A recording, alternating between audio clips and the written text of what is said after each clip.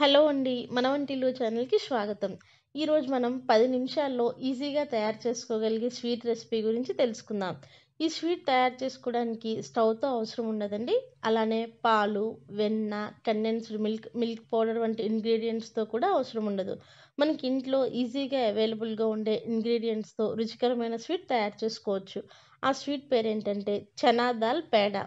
ఈ చనా దాల్ పేడ తయారీ విధానం గురించి ఇప్పుడు తెలుసుకుందాం. ముందుగా రెండు కప్పుల పుట్నాల పప్పు లేదా వేపిన శనగపప్పుని తీసుకోవాలండి.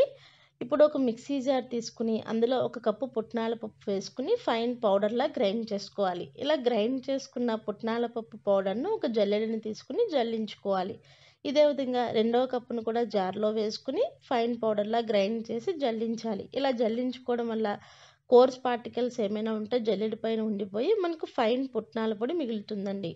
ఇప్పుడు అదే మిక్సీ జార్లో నాలుగు యాలకులని యాడ్ చేసుకోవాలి. అదేవిధంగా ఒక ముప్పావు కప్పు షుగర్ని యాడ్ చేసుకోవాలి.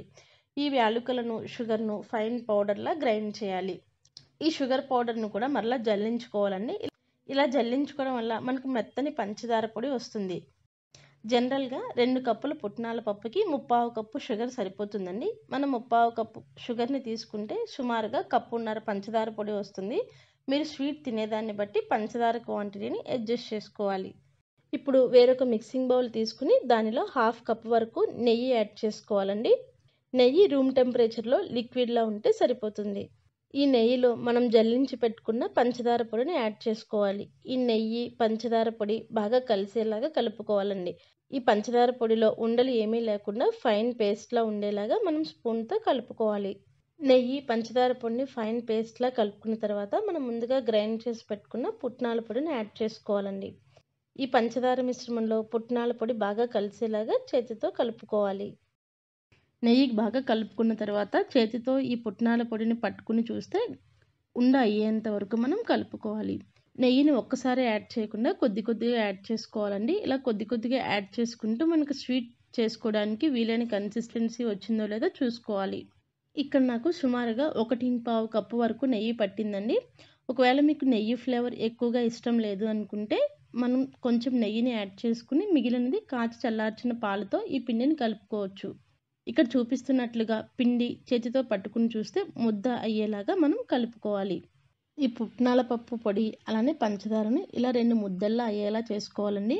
ఈ మిశ్రమాన్ని ఇలా దగ్గరగా చేస్తున్న కొలది నెయ్యి పైకి తేలి మనకు స్వీట్ తయారు చేసుకోవడానికి వీలుగా రెడీ అవుతుంది. ఇప్పుడు మనం ఈ మిశ్రమాన్ని స్వీట్లా తయారు చేసుకోవాలండి. కొంచెం ఈ మిశ్రమాన్ని చేతిలోనికి తీసుకుని రౌండ్ బాల్ లాగా చేసుకోవాలి. మనకి నచ్చిన షేప్లో ఈ స్వీట్ని తయారు చేసుకోవచ్చండి. ఇక్కడ నేను ఫోర్ షేప్స్ చూపిస్తున్నాను కదా. ఆ షేప్స్లో పెట్టుకుని నేను స్వీట్లా తయారు చేసుకున్నాను. ఒకవేళ మీకు షేప్స్ అవైలబుల్గా లేకపోతే రౌండ్గా చేసుకుని ఫ్లాట్గా కోవాలా ఒత్తుకుంటే సరిపోతుంది. మీకు ఏ షేప్ అవైలబుల్గా ఉంటే ఆ షేప్తో మనం స్వీట్ని తయారు చేసుకోవచ్చు. అంతేనండి. ఎంతో రుచికరంగా ఎమ్మీ ఎమ్మీగా ఉండే చనాదాల్ పేడ రెడీ అయింది. ఈ చనాదాల్ పేడను సర్వింగ్ ప్లేట్లోకి తీసుకుని సర్వ్ చేసుకోవాలి. మనం ఈ స్వీట్లో ఓన్లీ నెయ్యిని మాత్రమే యూజ్ చేసాం కాబట్టి ఈ స్వీట్ ఫోర్ ఫైవ్ డేస్ వరకు ఫ్రెష్గా ఉంటుందండి. ఒకవేళ పాలను మాత్రం యాడ్ చేసుకుంటే టూ డేస్ ఫ్రెష్గా ఉంటుంది. ఎంతో రుచికరమైన ఈ స్వీట్ను మీరందరూ ట్రై చేస్తారని ఆశిస్తున్నాను.